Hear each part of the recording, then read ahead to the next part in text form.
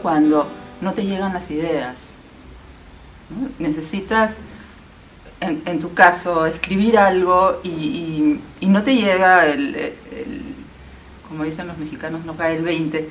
Y, y en ese momento, si tú te sientas contigo y respiras profundo, esos cinco minutos vas a ver que la idea llega.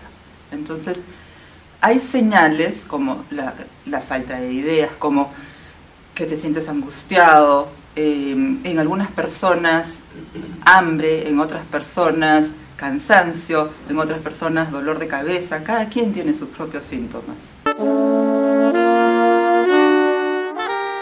Desde el momento en el que te levantas, si te levantas acelerado, de pronto el día va a ser como acelerado.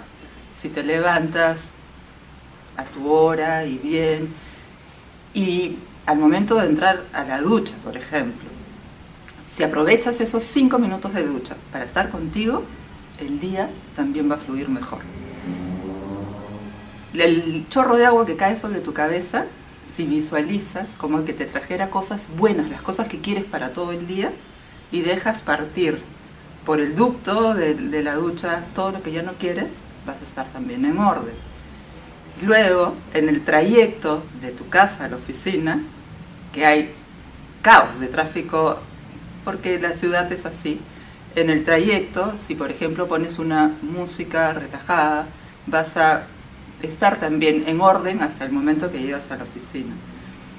Luego, si es que en algún momento suceden cosas que te sacan de tu centro, vuelves a tu oficina, cierras la puerta, respiras profundo, cinco minutos que estás respirando, subiendo la respiración, la suspendes en el aire y al exhalar sientes cómo te va ordenando y cómo te va relajando desde la cabeza hasta los pies. Y eso también te ordena y puede haber caos alrededor tuyo y tú estás en orden y todo está bien. Solo el hecho de, dejar un momento la actividad que estás haciendo para conversar con un amigo y ya te está sacando del estrés. Y por ejemplo, tener la flexibilidad de poder salir a dar una vuelta a la manzana también te ayuda a, distensarte, salirte de, de la rutina para tomar un poquito de aire y entrar en tu centro.